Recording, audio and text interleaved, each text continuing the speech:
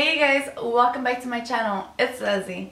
So today's makeup look, I did this very like pink tone, very glam makeup look and it was really easy to create. So if you're interested in this look, then just please keep on watching.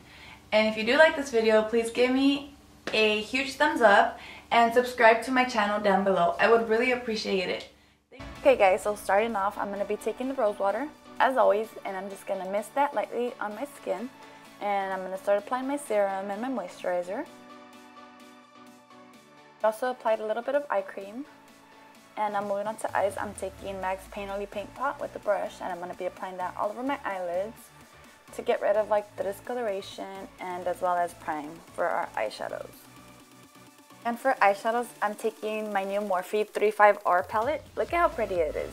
I'm going to be taking that bone color shadow with the fluffy brush and I'm just going to be setting the primer in place. I was so excited when I got this palette. The colors are so pretty, like all the glitter colors and then the matte colors. I love it. And for my crease or transition color, I'm going to be mixing those two like light brown, mauve colors. I don't really know how to describe them, but they're very soft colors with this fluffy brush as well from um, BH Cosmetics.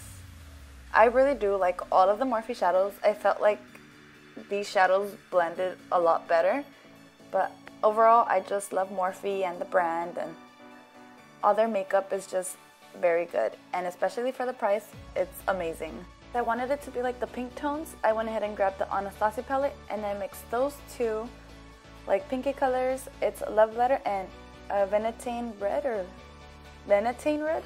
I don't know how you pronounce the other color, but I went ahead and grabbed my Morphe M441 blending brush and I'm just basically going to build those two colors as well. And I also went ahead and grabbed um, red ochre just to make it a little bit more intense also. And just going back and forth in the crease. Going in with a single shadow by Morphe in the color Brick, I'm going to be applying that onto the crease because I wanted it to be a little bit more pink with the same brush I've been using for the other three colors. And going back in with the first blending fluffy brush, I'm just going to make sure everything is nice and blended. And now with this little like flat brush, I'm going to be like defining my lid space and carving that out just so when we apply the lid color, it stands out a little bit better. After that, I went back in with the Morphe palette for the lid color and I took the lightest shade and I really liked how pigmented it looked and how like sparkly it looked. So pretty. So going back in with the Morphe M441 blending brush, I took my head a little bit back and I focused the brush a little bit more like at an angle just to make sure I'm getting in my crease very well. And for liner, as always, I'm taking the NYC Liquid Liner and I'm going to be applying that real quick to make my wing. And now for mascara, I'm taking the Big Shot by Maybelline and I'm going to give myself a light coat of that before I apply my falsies and these are from House of Lashes. They look so pretty.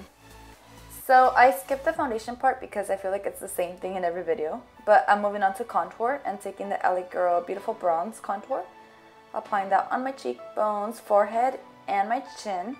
And I'm just going to be blending that out with the e.l.f. Flat Top brush.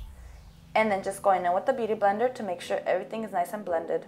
And you always want to make sure you're blending back to your hairline. And just keep going back and forth just so everything looks very nice and seamless. I took a little bit of that on my nose as well with a little brush. Again, I'm going to blend that out with the brush first and then just go back in with the sponge to make sure there's no harsh lines. And now for concealer, I'm taking the Master Conceal by Maybelline. And with the little brush, I'm making sure my eyeliner is very sharp and then just blend it out again. And I'm taking the Rimmel Stay Matte Powder for all over my face and to set underneath my eyes. And now for bronzer, as always, my Hoola Bronzer by Benefit with the little brush it comes with. And as always as well, my Milani Baked Bronzer in the color 05. And this is just a Morphe stipple brush. I'm going to be applying it everywhere where we applied Hoola. And for blush, I'm taking Raw by Benefit. And I'm going to be applying that on the apples of my cheeks. And now I'm just going to be baking underneath my cheekbones and on the sides of my nose. And for highlight, I'm taking the Laura Geller Gilded Honey, which is so pretty, with a Morphe fan brush. And now I'm just going to be dusting off all the powder that I have on my nose and underneath my cheekbones. Making sure everything is nice and blended. So I guess I needed more highlight. So I just added a little bit of Mary-Lou Manizer by the Balm. And it gave me that extra pop and as well I applied that to my inner corners.